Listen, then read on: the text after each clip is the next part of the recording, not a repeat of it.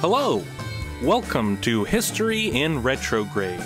This is the podcast where we use the ancient art of astrology to help us better understand the past.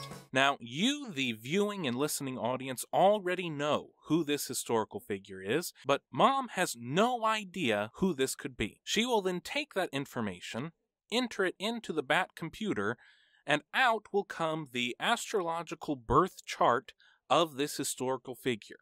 She will then give us an initial reading of this chart, everything that she can gain from just a, a blind reading of this chart. Uh, are you ready to know whose chart you've been looking at? yes, I hope I know who it is. This is the birth chart of George Armstrong Custer.